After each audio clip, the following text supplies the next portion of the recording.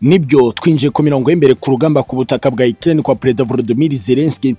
Inkuru iturukayo ntabwo ari nziza bigendanye n'ibiri kuvugwa. N'ibiri guhihuhiswa ko Perezida Volodymyr Zelensky yacakiranye imbona nkubone mu nama nkuru Major y'igisirikare cya Ukraine ubwo yarakaranaga bikomeye n'umugaba mukuru w'ingabo za Ukraine General Valery Zaruzini turaza kugaruka ku makuru yatangajwe n'ibitangazamakuru bikomeje kuvuga kuri iyi nkuru. Ariko kandi ku rundi ruhande mu cyerekezo cya Kumpianski Krasnomarinski ndetse na Rimani. Biri kuvuga ko igisirikare cya Ukraine cyagabye ibitero bibabaza igisirikare cy'uburusa aho byavuzwe ko hari imbunda y'umusade y'igisirikare cy'uburusa yarashweho bikomeye. Gusa indege z'intambara z'uburusa zikomeje gusa n'izihimurira icyo gikorwa cyakozwe n'abasirikare ba Ukraine. Ikaze mwese kuri izi paje zikomeye zimwe muri paje ziremereye ku mutekano politiki na diplomasi mu rwego mpuzamahanga. Kuri paje ya gatatu mu kinyamakuru gikomeye Belarus Partiza bavuze ko hari ukutumvikana gukomeye kwabayeho mu nama rukokoma ya Etat Major y'igisirikare cya Ukraine inama yaguye y'umutekano wa Ukraine. Aho byavuzwe ko Perezida Volodymyr Zelensky n'umugaba mukuru w'ingabo za Ukraine General Valery Zaruzini ko barebanye amaso ku maso batongana rwagati mu bandi bakomanda b'igisirikare cya Ukraine. Byavuzwe ko gutumvikana gukomeje kubaho ari uko Perezida Volodymyr Zelensky akomeje kunyuza amategeko akurikizwa ku mirongo y'imbere ku rugamba. N'abandi bari munsi ya General Valery Zaruzini nawe akavuga ko bidakwiye ko perezida w'igihugu yagakwiye kuba acamo ibice ingabo z'igihugu ziri guhangana n'umwanzi ku mirongo y'imbere ku rugamba. Umutegetsi mukuru wa Ukraine Volodymyr Zelensky nk'uko iki kinyamakuru Belarus Partiza kibyandika ngo nawe yagize ati ubugambanyi bwawe twakomeje kubuceceka ariko iki ni cyo gihe ngo ibyawe bimenyekane ko ushaka gushyira intsinzi mu biganza by'umunyagitugu Vladimir Putin. Ikinyamakuru Belarus Partiza kandi bigendanye n'amakuru kiri kuvuga ko cyahawe n'imboni yacyo. Iri mu murwa mukuru Kiev kandi nuko biri gushimangirwa na bamwe mu bakomeye mu butegetsi bwa Zelensky mu bijyanye n'umutekano ngo habayeho ukurebana nabi ndetse no kuvugana ariko ko bitatinze cyane kubera ko abandi bakomeye mu nzego z'umutekano za Ukraine bahise bajya hagati. Gusa bikavugwa ko amatsinda abiri ari ari kugaragara.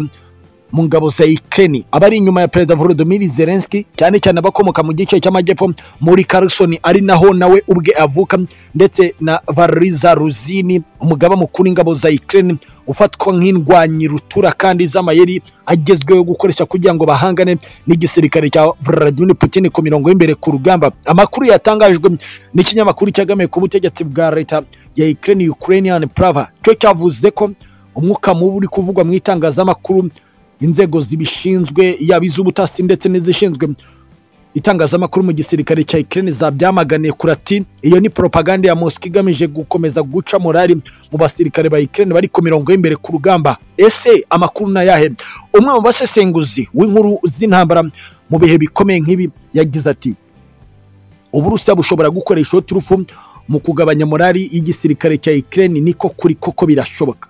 Ariko nanone bigendanye n'umwuka mubi uri kurangwa hagati ya perezida Volodymyr Zelensky n'umugaba mukuru w'ingabo ze Valery Zaruzini birashoboka ko habayeho kutumvikana gukomeye. Dore ko hari aho byavuzwe ko perezida Volodymyr Zelensky yari aritabira inama y'abakomeye mu ishyaka rye atitabiriye bigendanye n'uwo mwuka mubi wamaze amasaha agera muri ane kuri leta majoro y'igisirikare cya Ukraine bikavugwa ko bari bari mu mugambi wo gucoca ibyo bibazo biri mu nzego z'igisirikare nkuru cya Ukraine. Perezida Volodymyr Zelensky ku kwivanga ku miyoborere n'imigendekere y'uko amayeri agomba gukoreshwa ku mirongo y'imbere ku rugamba ari umusivile ni byo abari ku ruhande rwa General Valery Zaruzini bamuziza kuba ashaka gutegeka uko urugamba rutegekwa kandi nta kintu azi ku bijyanye n'imiyoborere y'urugamba. Ati inshuro nyinshi wavuze ko amabwiriza yavuye hanze y'igihugu adutegeka kurwana gutya twatakaje ibihumbi n'ibihumbi. Rero ntabwo dushaka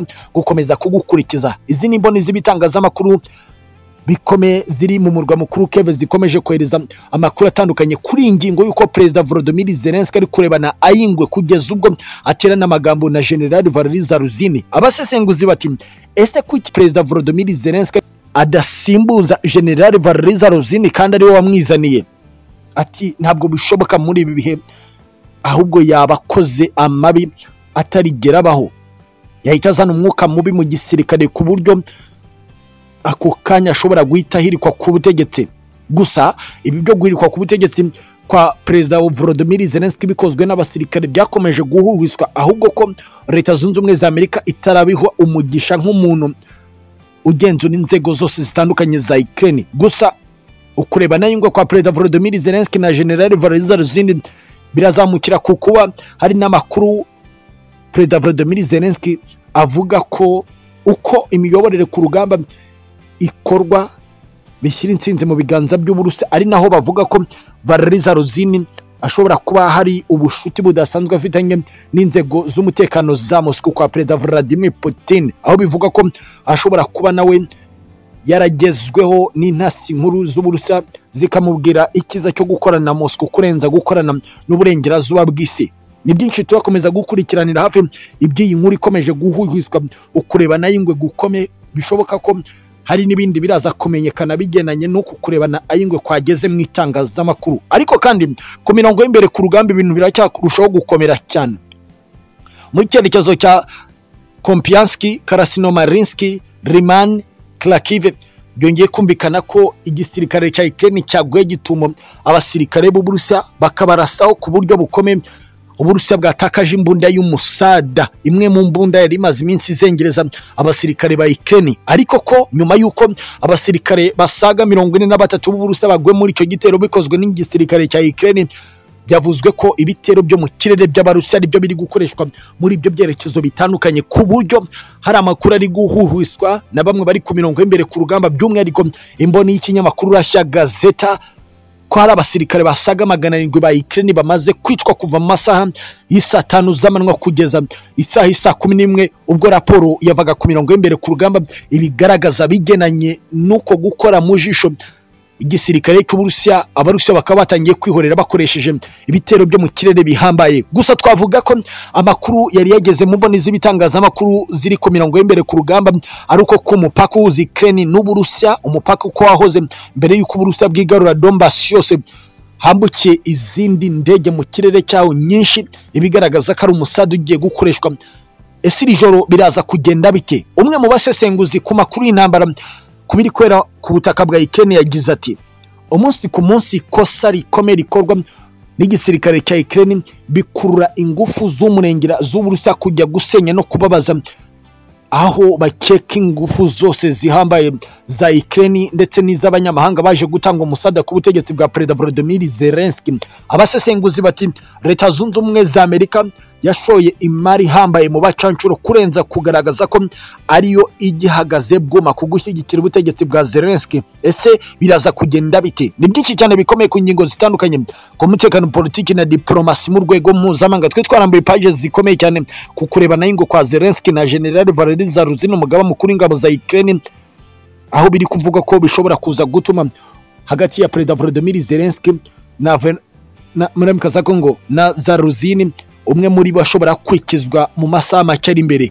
Ni byinshi cyane bikomeye ku ngingo zitandukanye ku mutekano politiki na diplomasi mu rwego mpuzamahanga. Asantene sana.